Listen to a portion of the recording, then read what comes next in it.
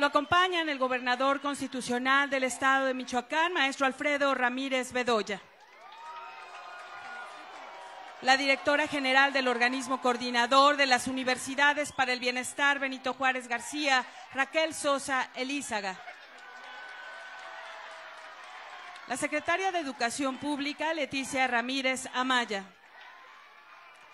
El subsecretario de egresos de la Secretaría de Hacienda y Crédito Público, Juan Pablo de Botón Falcón.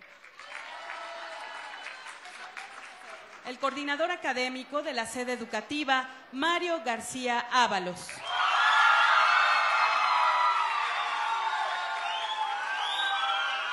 Asimismo, damos la bienvenida a los representantes de los medios de comunicación y a quienes nos siguen a través de las redes sociales. Todas y todos ustedes sean bienvenidos. Por favor, tomar asiento.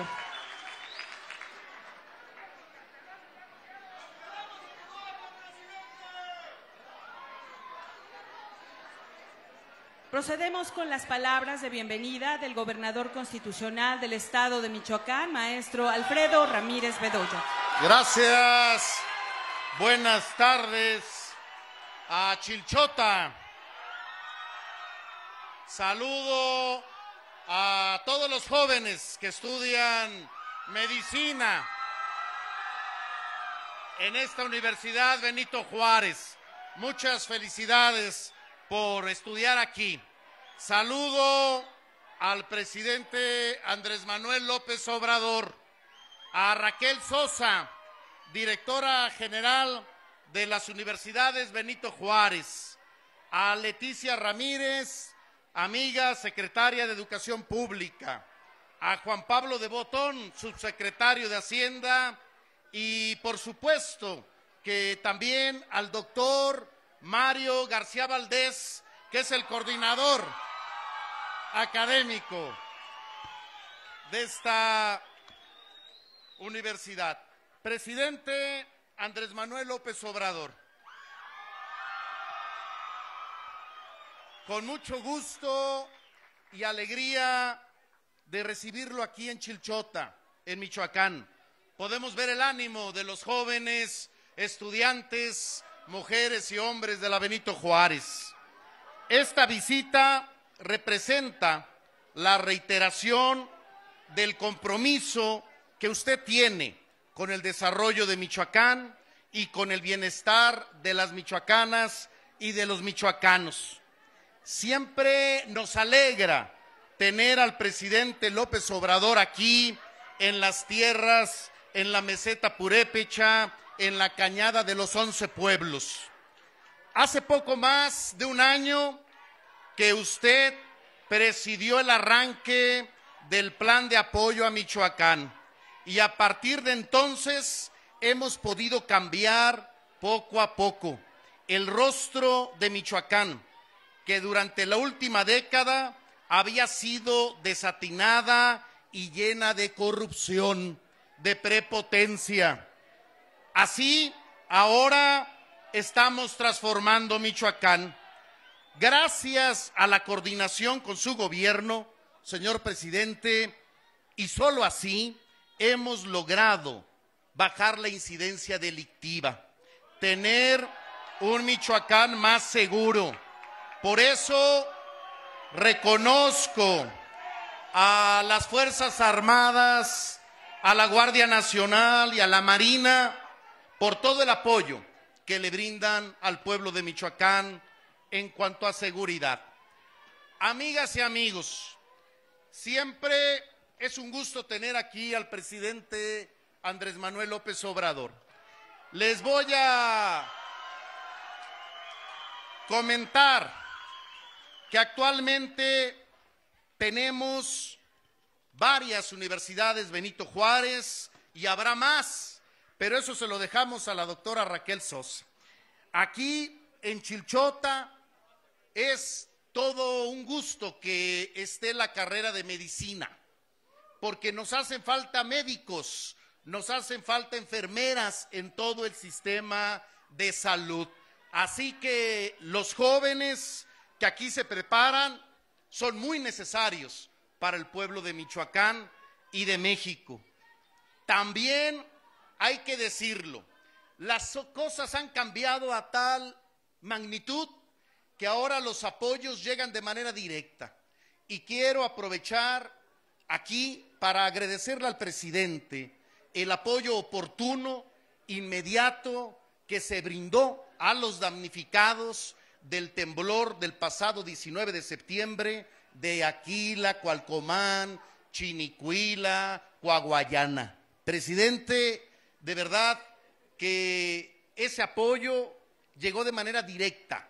Ya nada de Fonden que de verdad no tenían llenadera. Ahora me tocó acompañar a la secretaria del Bienestar a la entrega de los apoyos directos a los damnificados. Se entregaron 145 millones de pesos directamente a más de 4.200 familias en Michoacán afectadas por el terremoto. Ya no hay intermediarios. A los que requieren el apoyo llega y llega de manera directa.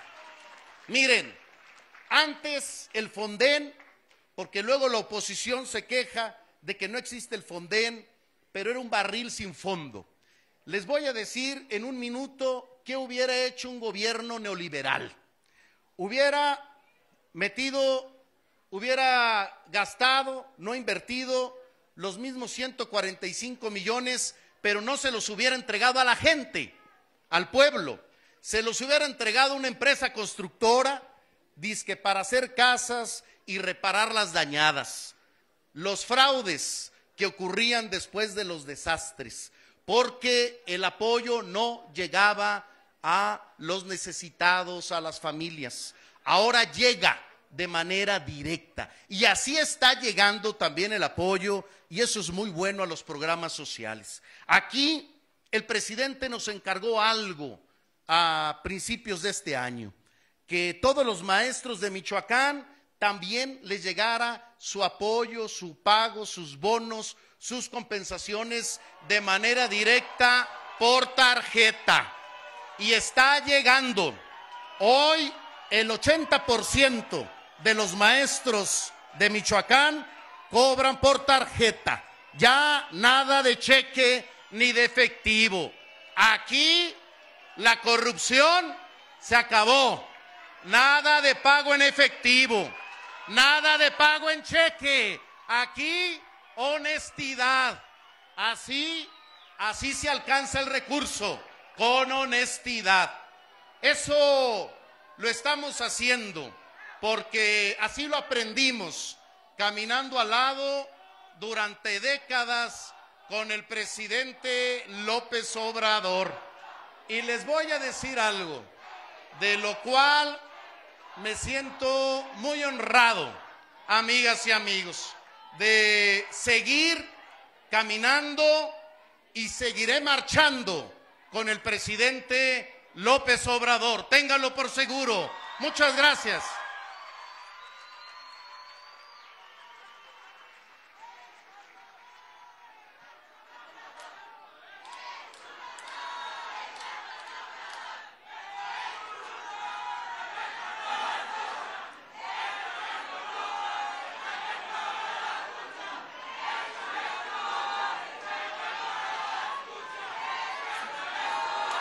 A continuación hace uso de la palabra la directora general del organismo coordinador de las universidades para el bienestar Benito Juárez García, doctora Raquel Sosa Elízaga.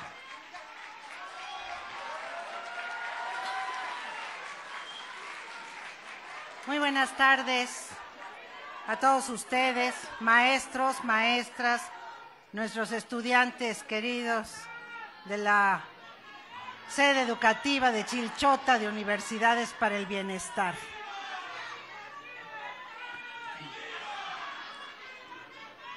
Quiero comenzar por decirles, quiero comenzar por decirles que le agradecemos mucho, muy fuertemente a nuestro presidente, que después de un año y medio en que ya nos habíamos quedado en 145 sedes del programa de Universidades para el Bienestar en todo el país, él tomó la decisión, nos planteó que escaláramos a 200 sedes educativas en todo el país.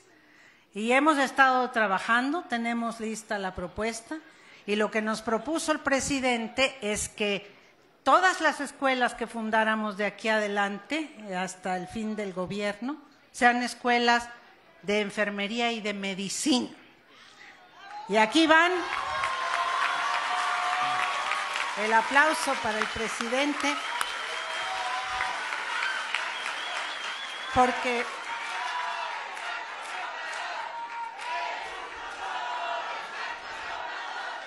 estamos convencidos de que esta iniciativa, así como la planteó, de que sean escuelas de salud, va a ser la iniciativa que defina en el futuro la historia de este programa.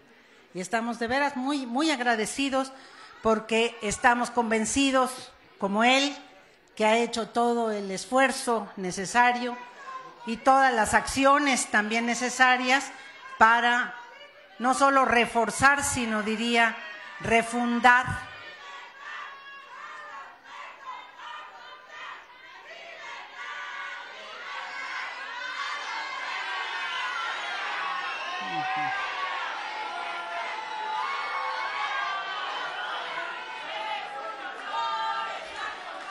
Vamos a seguirle. Muchas gracias. Yo los escucho, todos los escuchamos y ustedes que nos escuchen un momentito, agradecemos muchísimo. Que no, no por nada es esta una inauguración de una escuela que para nuestros estudiantes y nuestros docentes es muy importante.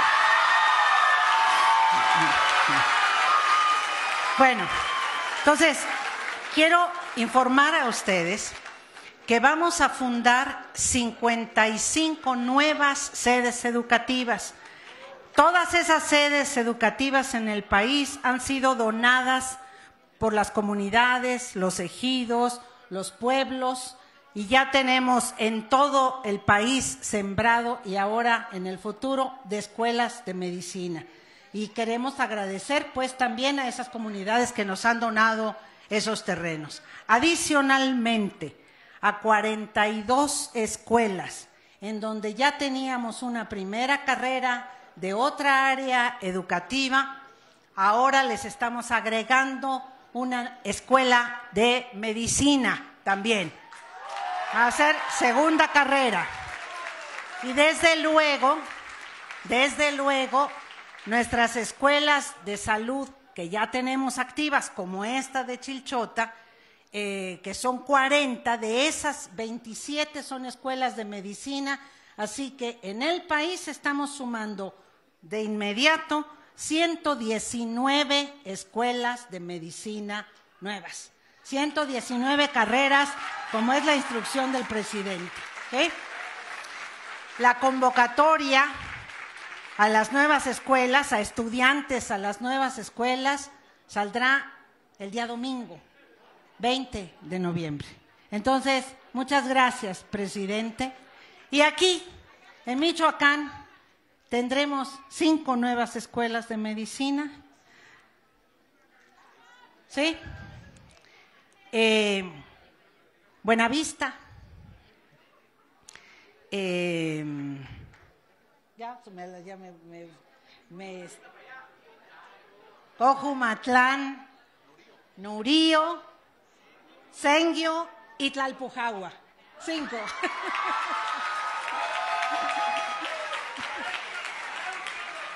Para que no diga... Eh, muy bien. Muy bien, correcto. Muy bien. Ahora sí, si me permiten, vamos a comenzar con la presentación, a comenzar desde el inicio.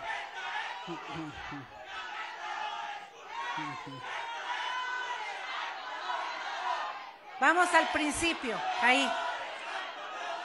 Bueno, vamos. Gracias. Adelante.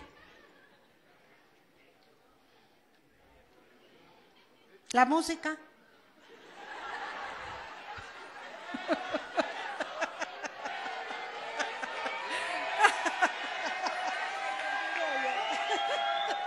Me rindo.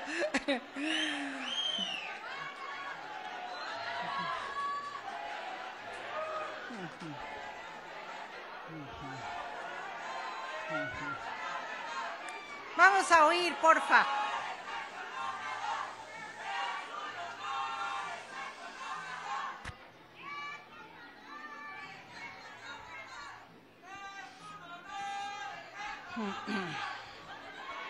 Gracias, gracias.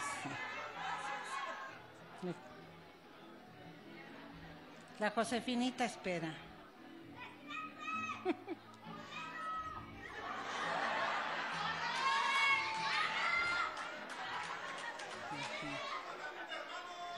¿Vamos? Bueno, queremos agradecer a la comunidad de Chilchota, a la Asamblea Comunitaria de Chilchota, la donación de este predio espléndido en donde se encuentra ya nuestra Escuela de Medicina Integral y Salud Comunitaria, que es, como ya saben muchos de ustedes, una orientación a la formación de medicina basada en el primer contacto con la población de poblaciones que no han tenido contacto antes con médicos, medicamentos, sistema de salud. Nuestros médicos van a ser médicos que atiendan a las comunidades, que den servicio a las comunidades más lejanas y que estén dispuestos a cubrir todos los espacios de un sistema de salud que, como el presidente ha establecido, tiene que volver a refundarse y tiene que volver a tener un gran impulso, como alguna vez lo tuvo en el país. En el caso de esta escuela quiero contar una muy pequeña historia, pero que nos iluminó extraordinariamente y nos sigue iluminando. Cuando llegamos por primera vez a Chilchota, veníamos con la idea de que esta es una zona de bosques y es una zona donde se producen frutales. Y veníamos a proponerles una carrera de ingeniería agroforestal. Eso es lo que pensamos que iba a convenir para esta zona. Cuando llegamos acá, estaba con nosotros el presidente municipal entonces, querido amigo de nosotros, Eduardo Ixta, conocido como Palomo, muy querido para nosotros. Y sin querer queriendo nos trenzamos en un debate interesantísimo que nos iluminó para siempre. Yo le decía a, a, toda la comunidad que estaba allí en la reunión, muy amplia reunión, que pensábamos esto y el presidente Palomo nos dijo, sí doctora, efectivamente somos productores frutícolas, pero lo que nosotros necesitamos es una escuela de medicina y yo le dije, pero ¿cómo una escuela de medicina si no tiene que ver con, con las necesidades económicas? Yo todavía pensando me sale lo profesora universitaria cada rato. Le digo, pero ¿cómo? Sí, me dice. Le digo, pero es que nos estamos muriendo de enfermedades que no sabemos qué son. Y podemos producir frutas, pero no vamos a durar mucho si no, si no tenemos los conocimientos para curar a la gente que se enferma. Y entonces le dije, bueno, entonces necesitarán una clínica. Y él me contestó, sí, también necesitamos una clínica, pero la clínica nos va a resolver los problemas de ahora. La escuela de medicina va a resolver los problemas de salud de muchas generaciones, aquí y en toda la región. Amor a quien amor merece. Que viva Palomo. Que viva siempre. Y aquí está, efectivamente, en la cañada de los once pueblos, algunos dicen que es la cabecera, la cabecera municipal de muchos municipios. Palomo, ra, ra, ra. Chilchota está en un lugar central en la, en la cañada de los once pueblos. Ahora estaba el el, mapa, yo creo que si nos regresamos tantito para que lo veamos, estos 11 pueblos comparten con Chilchota esta inmensa necesidad de centros de salud, de profesionales de la salud. ¿sí? Aquí están. Es, es, raro que veamos en un mapa toda esta distribución de la cañada de los 11 pueblos, que es uno de los lugares emblemáticos y desde luego los, donde está más concentrada la cultura purépecha de este maravilloso estado. Adelante. Vamos a tener un hospital. Este municipio que tiene más de 40 mil personas, en 18 mil 700 no tienen acceso todavía a servicios de salud. Y sin embargo, los problemas muy graves de salud de la región, que esa es una de las primeras cosas, ustedes lo saben bien, que hacemos en la carrera de medicina, le llamamos epidemiología de la región, es identificar cuáles son las enfermedades fundamentales que tiene una región. Y acá las enfermedades renales, de padecimientos crónicos como diabetes, obesidad, malos hábitos alimenticios, que están en otras partes del país y desde luego cáncer, son enfermedades que se han incrementado muchísimo en los últimos años. Aquí están, adelante, aquí están nuestros estudiantes, igual que en todas las sedes educativas de nosotros, es una alegría, una felicidad inmensa verlos entregarse desde el principio de su carrera a la actividad de práctica a, las jornadas de salud, nos han ayudado en las jornadas de vacunación, ayudan en todas las jornadas de salud y ya tienen una disposición de la que carecen muchos médicos, desgraciadamente, en nuestro país, de ir a atender a la población donde la población nos necesite. ¿Digo bien? Adelante. Adelante. Aquí están nuestros jóvenes haciendo sus prácticas médicas y el nivel de avance de la carrera de medicina a partir de que hacen estas prácticas es extraordinaria. Están, van a estar listos muy pronto para ya ser médicos profesionales.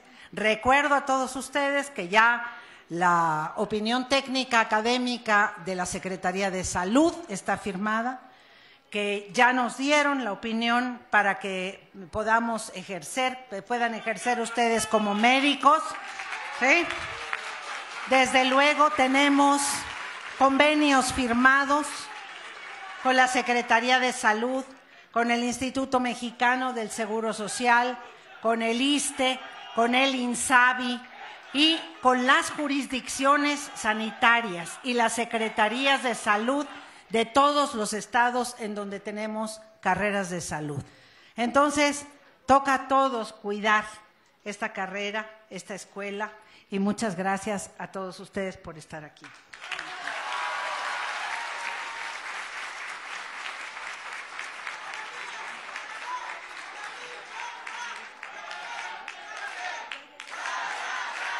Estimado público, Escuchemos el mensaje que nos dirige el presidente constitucional de los Estados Unidos mexicanos, licenciado Andrés Manuel López Obrador.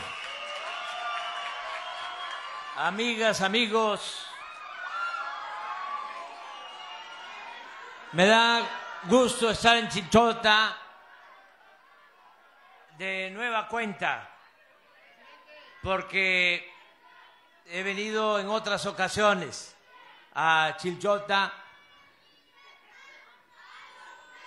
ustedes estaban todavía pequeños, niñas, niños, eh, pero ya he estado aquí eh, varias veces.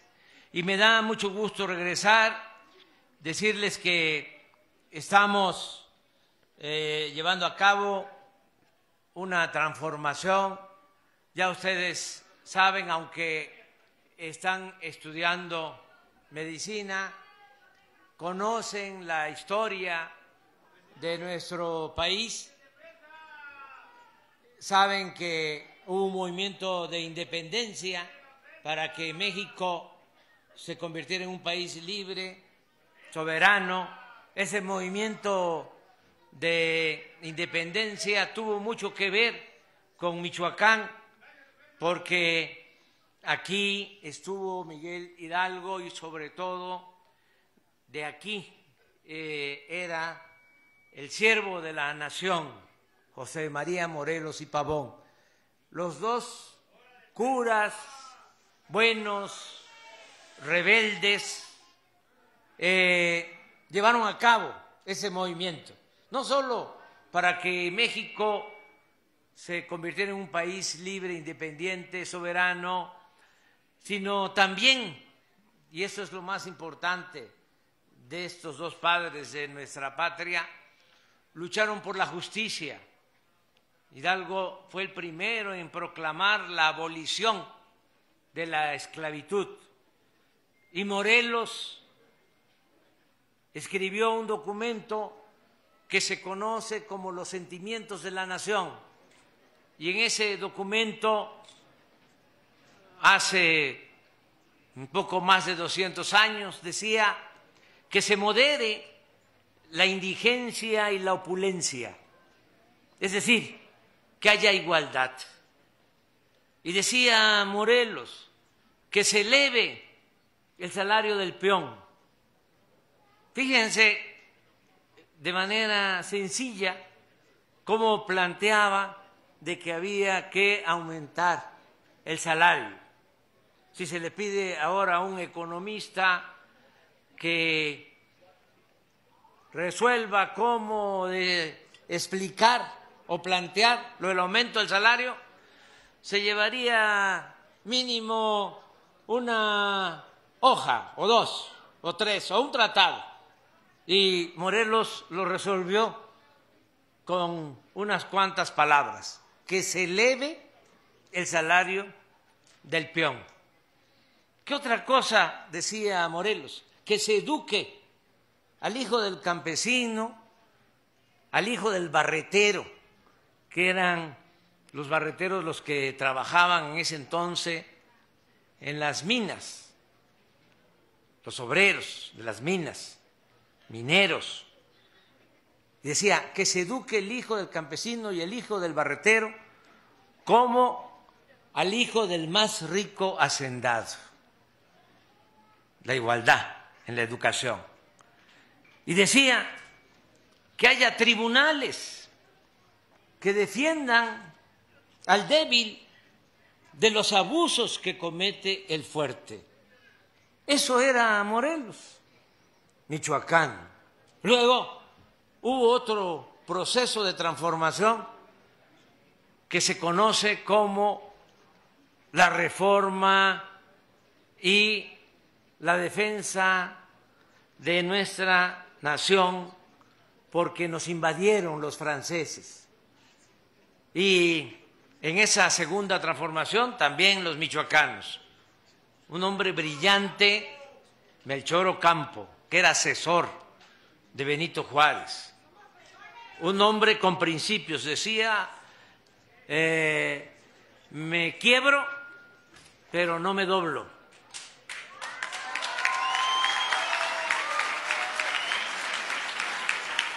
Hay algunos que dicen que es al revés, no.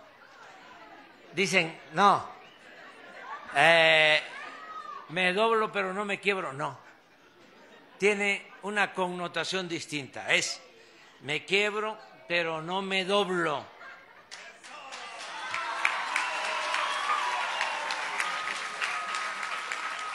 Y luego hubo una tercera transformación, que fue la revolución y también los michoacanos, dos importantísimos.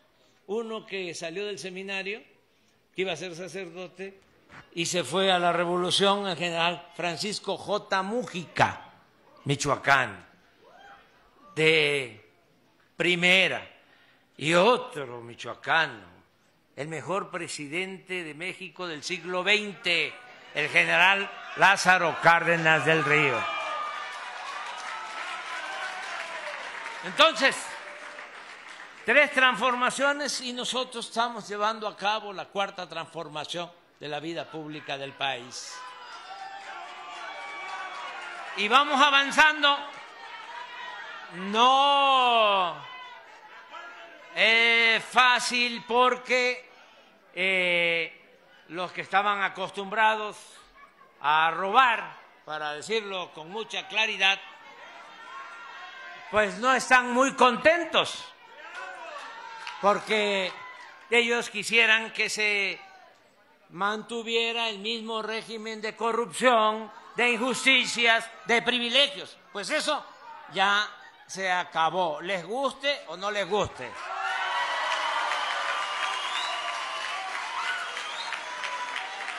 ¿Y por qué se necesita la cuarta transformación?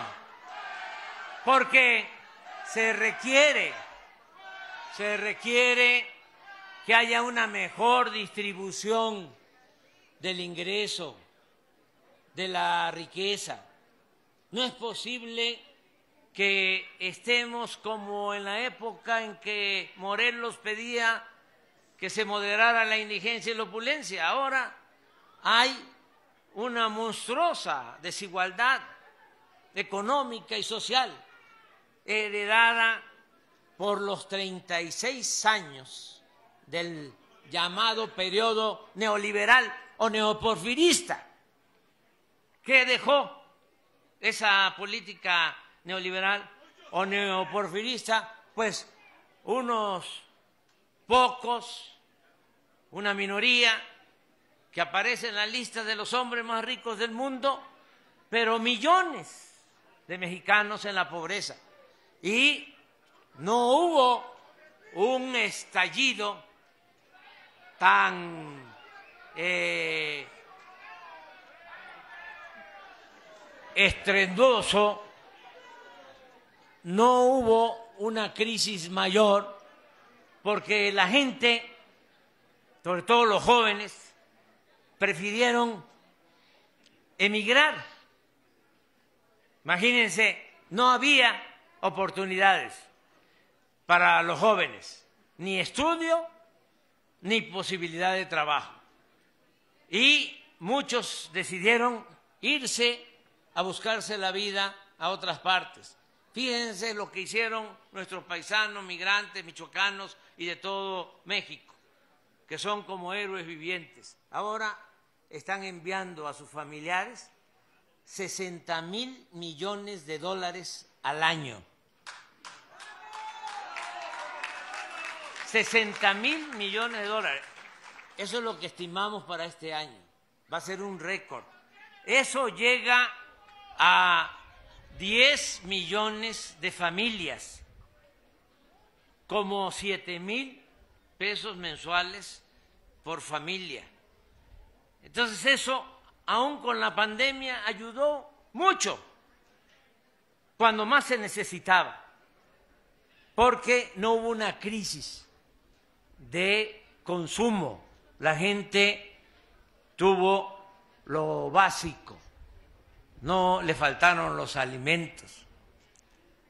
Eso se complementó con los programas de bienestar. Además, no endeudamos al país. Miren, aquí, aquí en Chilchota está el ejemplo. Eh, y así está en todos los municipios. En los 113 municipios de Michoacán y en todos los municipios de México, que los conozco todos. Tengo esa dicha enorme. Miren, aquí en Chinchota hay 24 jóvenes que están en el programa eh, Jóvenes Construyendo el Futuro, que se les da un apoyo para que trabajen como aprendices.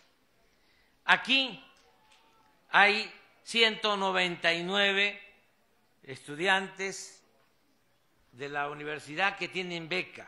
Hasta les voy a dar una buena noticia.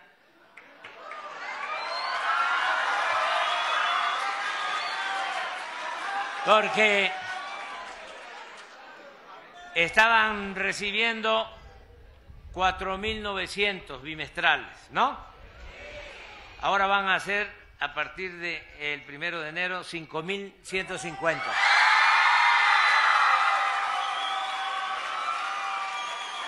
Ya está aprobado el presupuesto del año próximo.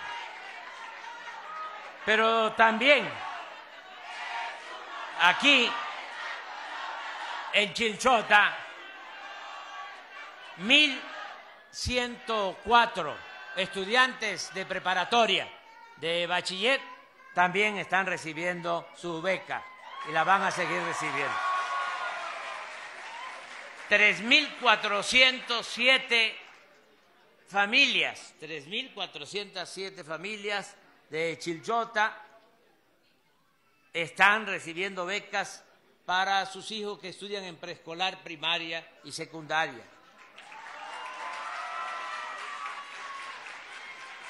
Está esta universidad eh, que de una vez les voy a decir, para que yo continúe, eh, se va a ampliar.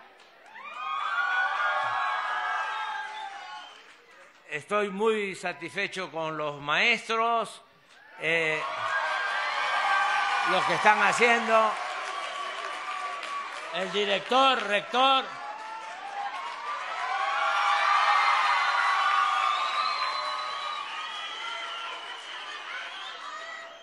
Y vamos a buscar la forma de que antes de que yo termine, aunque a ustedes todavía le falte, voy a dejar un acuerdo a ver si puedo que sea una ley para que todos los que egresen de las escuelas de medicinas tengan su trabajo eh, seguro.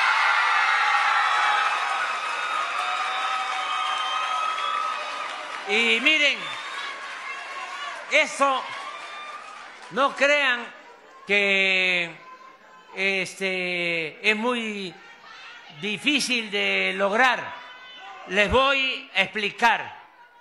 Estos irresponsables neoliberales lo que hicieron es que cerraron las puertas a los jóvenes que querían estudiar medicina.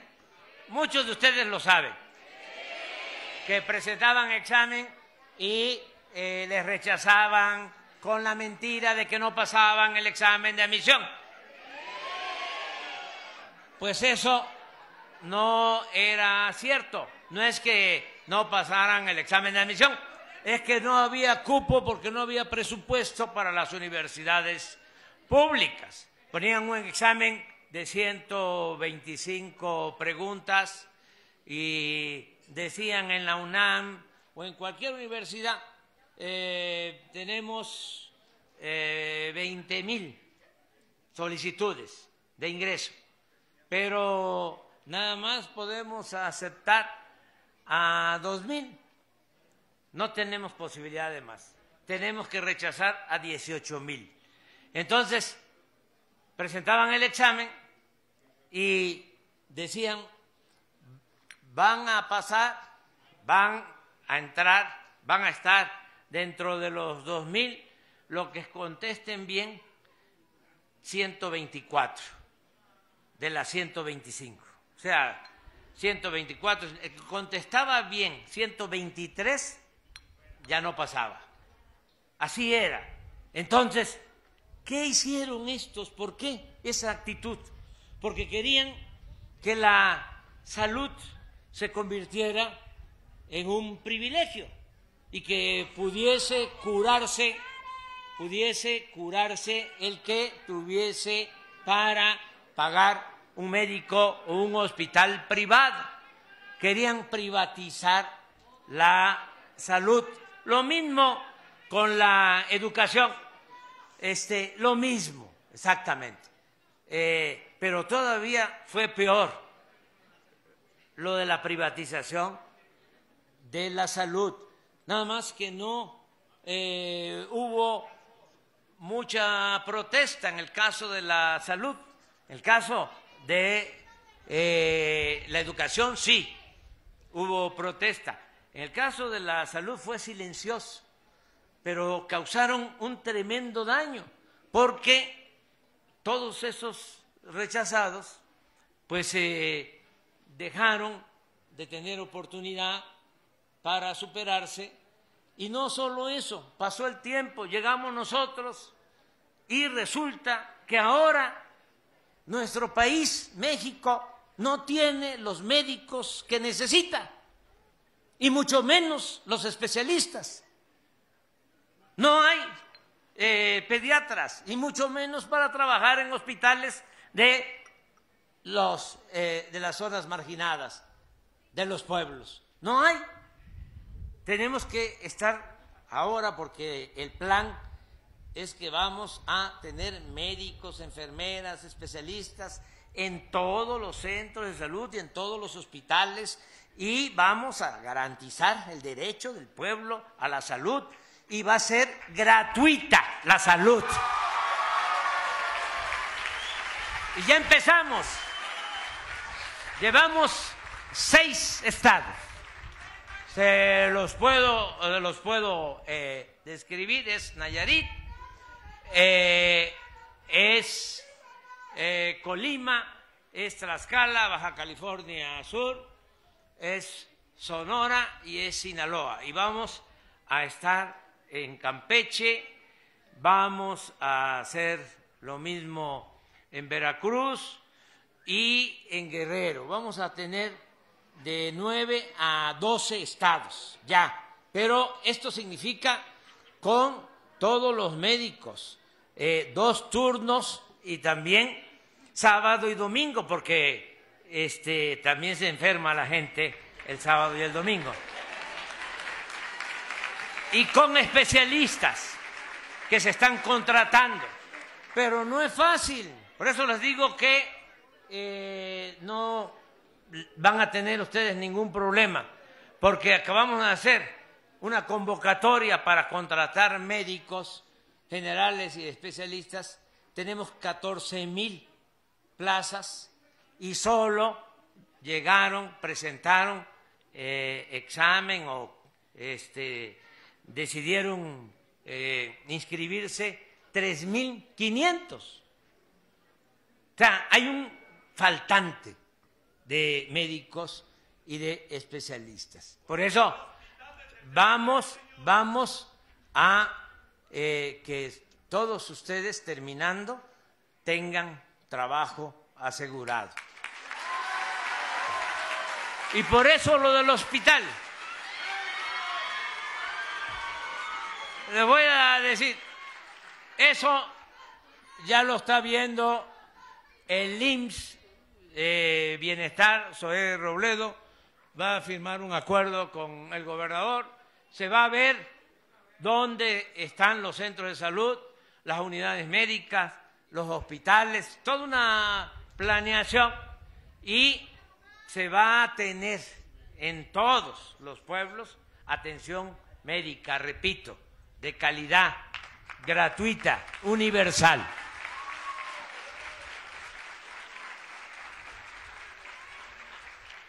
Por eso eh, me siento muy contento el que se tenga esta escuela. Eh, teníamos 145 eh, sedes del sistema de educación superior Benito Juárez y fuimos precisamente a Colima y le dije a la maestra Raquel Sosa, oye, vamos a llegar a 200 de 145 vamos a 200, pero las 55 quiero que sean de enfermería y de medicina. Por lo que les estoy comentando. Bueno, también aquí en Chilchota, Chilchota eh, hay 3.133 adultos mayores, eh, veteranos así como el que está hablando, que tienen una pensión. Y les voy a dar también una buena noticia a mis compañeros.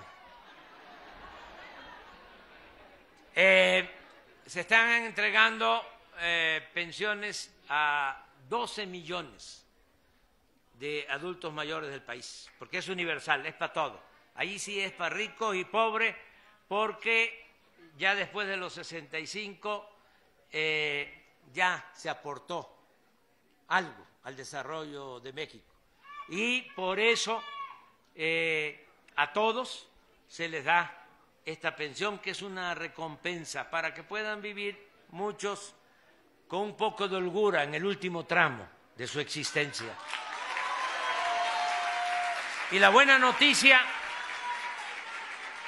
es que ahora son 3.850 bimestrales, pero ya el primero de enero aumenta 25%.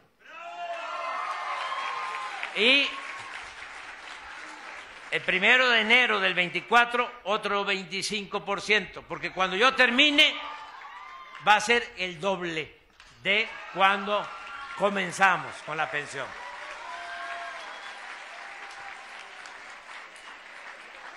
En Chilchota también hay 286 niñas, niños con discapacidad que reciben su pensión. Aquí también hay 268 niñas y niños de madres solteras que están recibiendo becas. 802 productores del campo, de lo que era el, Procampo, que ahora es Producción para el Bienestar, que reciben su apoyo.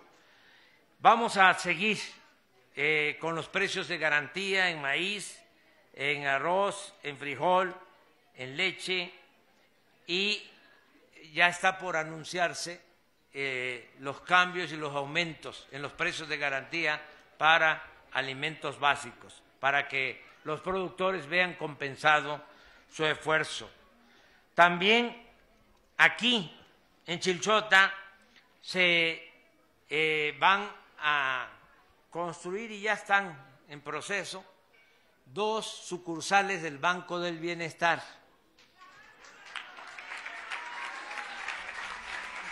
¿No tienen una tarjeta por ahí de las del bienestar?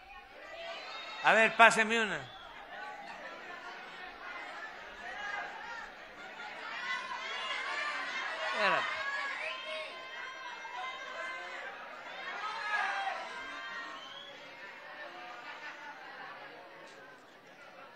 Los adultos mayores, las personas con discapacidad, niñas, niños, los becarios, los estudiantes, los eh, productores, todos van a tener esta tarjeta. Y eh, van a ir a la sucursal del Banco de Bienestar y van a sacar lo que por derecho les corresponde. Nada de intermediarios, ya eso se acabó. Nada de que yo soy de la organización independiente Lázaro Cárdenas y dame a mí el dinero, yo se lo voy a entregar a la gente. No, primo hermano, ya eso se acabó. Porque no llega. O llega con moche, con piquete de ojo. Y por eso respaldo a Alfredo para que los maestros todos reciban su pago con tarjeta, que no haya intermediarios. Porque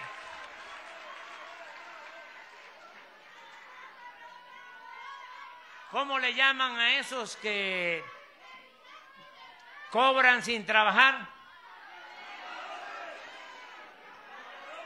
Aviadores. Nada de aviadores.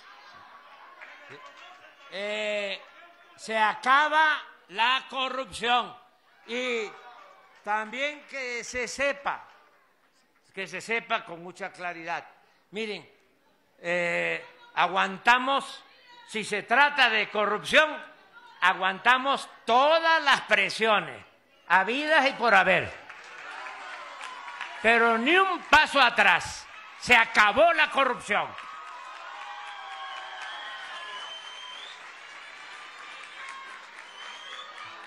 Nada de que, oye, si no me das, habían organizaciones campesinas que se llevaban al año hasta 20, 30 mil millones de pesos. ¿Eh? ¿Eh? y creen que le llegaba ese apoyo a los campesinos? No. Se quedaba en los líderes que se convertían en potentados como políticos corruptos, caciques, con caballos pura sangre, ranchos, que se vayan al carajo. Eso se acabó.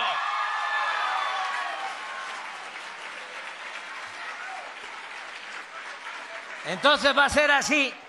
Pero también le digo a los maestros y sobre todo a los padres de los muchachos que están estudiando. Nosotros no somos represores. Le voy a pedir al gobernador de Michoacán, le estoy pidiendo a Alfredo de que revise el asunto de los tres jóvenes o cuatro, los que sean, que están detenidos para que se les libere.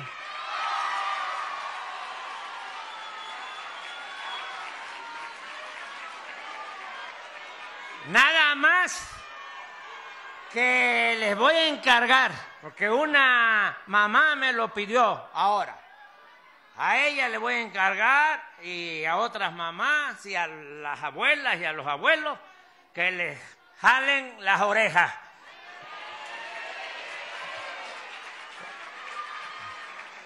Nada de que este cierro la carretera, pues no solo cierro la carretera, sino que le voy a prender fuego a un camión. No, eso no. ¿Saben cómo luchaba Gandhi? ¿Cómo luchaba Luther King? ¿Cómo luchaban eh, Mandela de manera pacífica, sin violencia?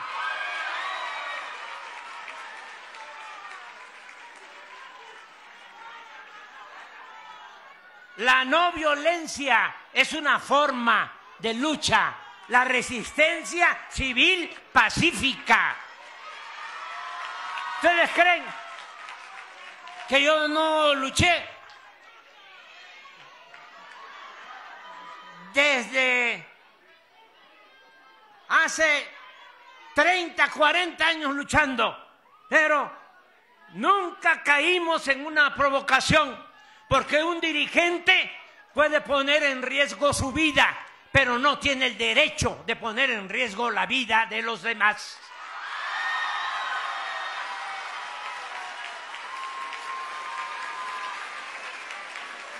Bueno, voy a seguir aquí. Vamos a continuar apoyando en Chichota y en todo Michoacán. Y la verdad, me da mucho gusto estar con ustedes. Decía Salvador Allende, voy a recibir el día 23 al presidente Bori de Chile, jovencito, acaba de entrar. Y decía eh, el presidente Allende que yo lo admiro mucho porque lo asesinaron, hubo un golpe de Estado en 1973 y yo estaba entrando a la universidad.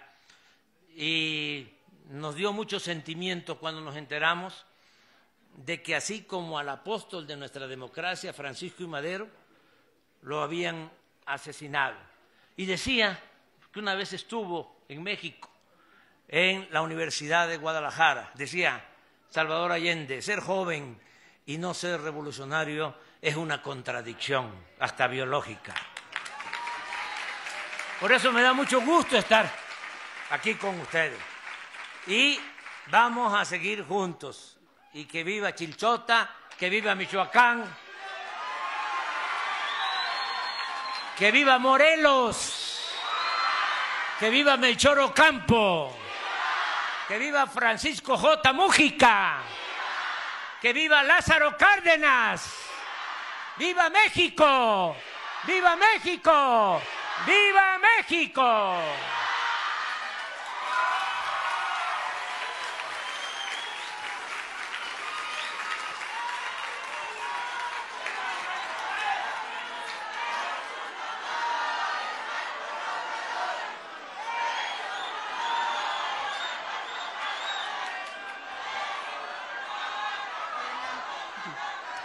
Solicitamos al presidente de los Estados Unidos mexicanos, licenciado Andrés Manuel López Obrador, llevar a cabo el corte de listón inaugural de la Universidad para el Bienestar Benito Juárez García, sede Chilchota.